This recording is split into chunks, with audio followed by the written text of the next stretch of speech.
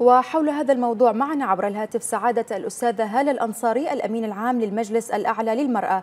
مساء الخير وأهلا بك معنا في نشرة أخبار الثامنة. بداية نهنئكم بمناسبة مرور 22 عاما على تأسيس المجلس الأعلى للمرأة.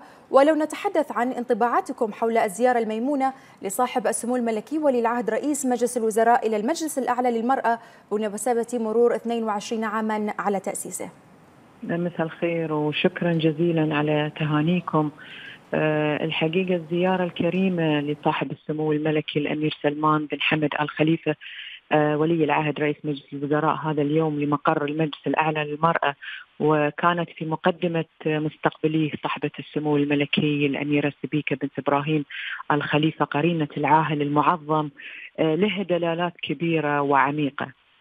حيث حرص سموه بأن تكون مناسبة التأسيس مناسبة تستحق الاحتفاء بها وطنيا واعتبرها فرصة هامة للوقوف على إنجازات الصرح الوطني وللإعراب كذلك عن مدى الارتياح والتقدير بما حققته مسيرة عمل المجلس على مدى ال 22 عام بقيادة سموها.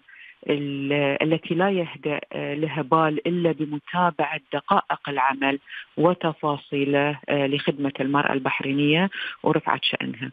وجهود سيدة البحرين الأولى هي جهود تجسدها مسيرة حافلة بالعطاء ومليئة بالمحطات المضيئة اللي فعلا تبعث على الفخر والاعتزاز.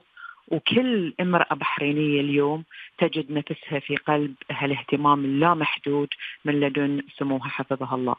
آه كما أن للزيارة الكريمة لسمو ولي العهد رئيس مجلس الوزراء وقع كبير جدا على نفوس ومعنويات الفريق العامل بالمجلس وأنا معهم آه لما لمسناه من اهتمام كبير وتقدير واضح لمجهودات كوادره.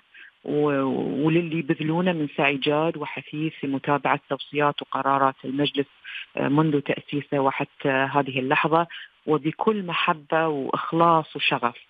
ونحن المحظوظين الحقيقة بهالتشجيع والاهتمام الصادر من سموه حفظه الله وما أعربه من رأي قيم لمستقبل العمل كذلك والذي سيكون له الأثر الكبير على أداء ومعنويات فريق العمل للاستمرار في الخدمة بذات الزخم والحماسة وبحسب ما ترسمه سموها من أفق واسع ورحب للعمل النسائي في مملكة البحرين بتوفيق من الله وعونه.